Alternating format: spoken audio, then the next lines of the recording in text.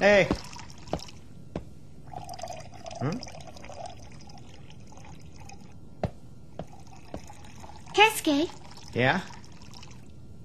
have you heard of the universe of the four gods? No? What's that?「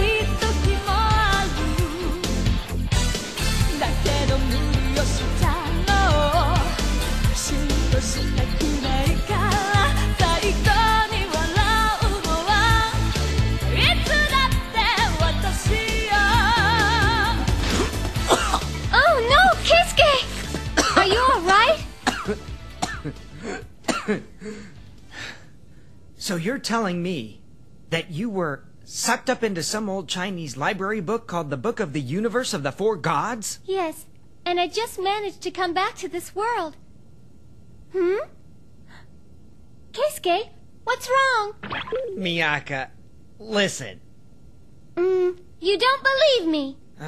Alright, alright, whatever. I could never have made it back without Yui's help. Well, if what you say is true, then the book sounds dangerous, Miaka. What?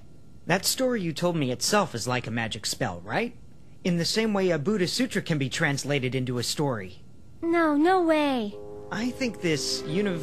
The universe of the four gods. Yeah, well, it doesn't seem to be a sutra. It might actually be more like a book of sorcery. Of sorcery? Yeah, kinda like a book of spells. I don't think it's like that at all. Even if it isn't, girls nowadays seem to be suckers for those sorts of books and things. Yeah, I'll admit to that, but If that spell is as old as you say it is, Miaka, it may have very strong magical power, which could make it very dangerous. dangerous. And any wish you make on it will probably involve some sort of sacrifice. Sacrifice? The best example of this is Western black magic. When you ask the devil to fulfill your desires, he demands a sacrifice in return. It is scary. Keisuke, your face is scary. Heroi Mesai. No matter what you say, you really don't believe me, do you? I know Tamahome and the others weren't dangerous at all. Miaka. The bottom line is you're letting yourself get sidetracked. Huh? Entrance exams. If mom knew how you were spending all of your time, she'd be really upset and worried. Keisuke, Whether it's true or not doesn't matter. Promise you won't go near that silly book again. Just forget about it, okay? I'm home. Don't let mom down, Miaka.